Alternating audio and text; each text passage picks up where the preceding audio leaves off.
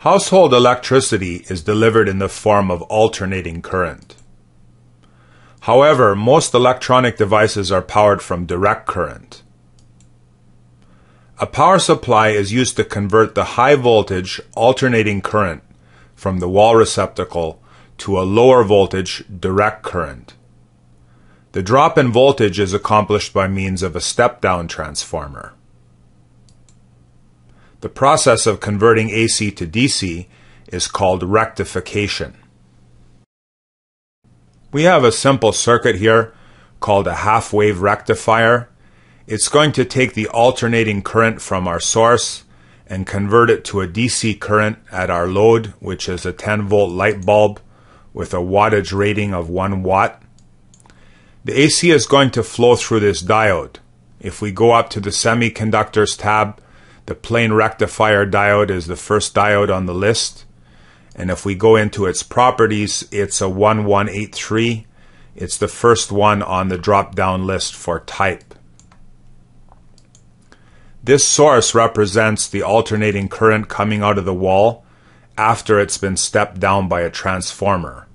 The wall current arrives in the form of a sine wave, and in North America it has a frequency of 60 hertz. In other words, we get one alternation in 1 60th of a second or 16.6 milliseconds. Our transformer has dropped the wall voltage down to a voltage of 10 volts peak.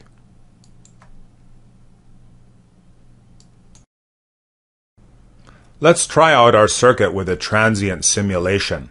I'll go in to set up the options. We have a source that's running at 60 cycles per second should be kind of hard to follow.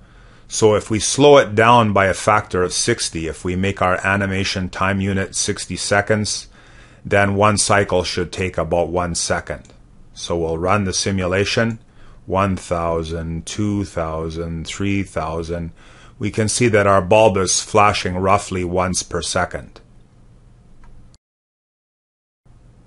Let's take a look at our circuit again in analysis mode. I'll turn off the simulation. We should note that there's a voltmeter at the output here called VLOAD. That'll help us identify the output waveform in the analysis. So I'll go to analysis, I'll select transient. We know that we have a 60 hertz input, so one cycle is 1 60th of a second or 16.6 milliseconds. So 0 to 50 milliseconds should give me about 3 cycles of the output waveform. We'll select zero initial values. And here's our output waveform. I'll bring up a legend and we can see that the output, the load voltage is in red.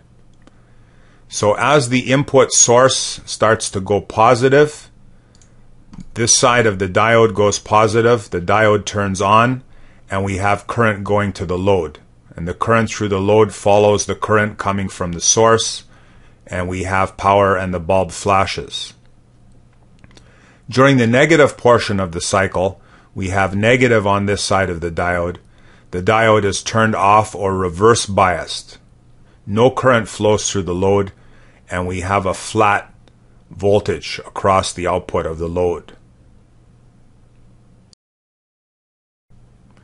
If we look at the peak voltage being delivered to the bulb, we can see that it's less than the peak voltage coming from the source. The reason for this is the voltage drop across the diode. If we want to get a better look at the voltage across the diode, we can drop the voltage of the source. So I'll go into sine wave and we'll change this from 10 volts peak to 1 volt peak and then we'll go back to analysis and run the transient analysis again. So we can see at the peak the difference between the voltage at the load and the voltage from the source is about half a volt. We can also see that the diode doesn't start conducting right away. If we zoom in here, we can see that the voltage across the load is zero in the beginning until the source voltage reaches a certain level. So I'll go and I'll grab a cursor here and I'll click on the source voltage and we'll move over to the point where we start getting some load voltage. So this is the knee voltage of the diode. So we need about 0.3 volts in order for the diode to begin conducting. Once it begins conducting, it doesn't burn up more than about 0.5 volts. So it's a typical diode behavior. It needs a certain amount of voltage to turn on, and then after that, its voltage doesn't vary too much.